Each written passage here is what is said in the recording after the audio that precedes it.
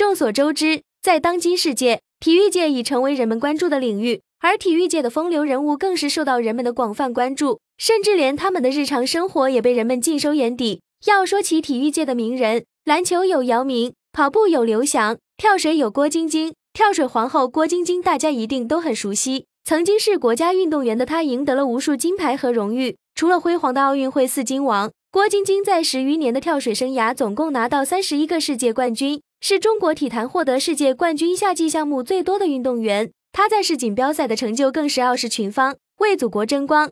当然，不仅仅是因为郭晶晶在体坛上所取得的光鲜亮眼的成就，还有她与霍启刚的恋情，一个跳水冠军，一个是豪门贵公子。本来毫无交集的两人，命运却戏剧性的用红线把两人牵到了一起。当年两人因为种种相遇而走到了一起，随后步入婚姻殿堂。如今郭晶晶和霍启刚结婚这么多年，依旧恩爱如初，这让不少人看得眼红。两个人虽然身在豪门，但是他们不急不躁，过着自己的安逸生活，并且还经常做一些自己力所能及的事情，帮助别人，经常做一些慈善活动。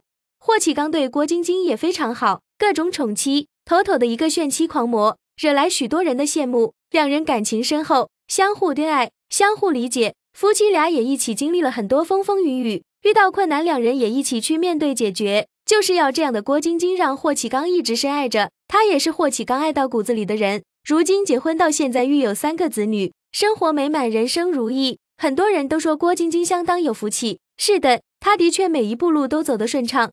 不仅如此，郭晶晶除了得到了霍启刚的爱护，还被整个霍氏家族所认可。从当年铺天盖地的“下嫁”一词就能够看出霍家对郭晶晶的看重。郭晶晶和霍启刚这对夫妻现在在娱乐圈也算是一股清流了。不过，据网友了解，最受大家关注的就是优秀无敌的郭晶晶出生于什么样的家庭呢？很多人对于郭晶晶的成长背景感到好奇，想知道是怎样的家庭环境能够培育出这样一位杰出的女性。因此，有些人开始在网络上寻找关于郭晶晶的家庭信息，最终。他们发现郭晶晶来自一个十分普通的家庭，她的父母不是社会名流，只是两位普通的劳动者。爸爸在铁路部门工作，妈妈在工厂劳动，很是低调。郭晶晶从小就因为身体健康问题而备受困扰，在这种情况下，不少人可能会选择好好休息，但郭晶晶选择了一条不同的道路。她的爸爸妈妈决定让她去学习跳水，这个决定就此改变了她的人生。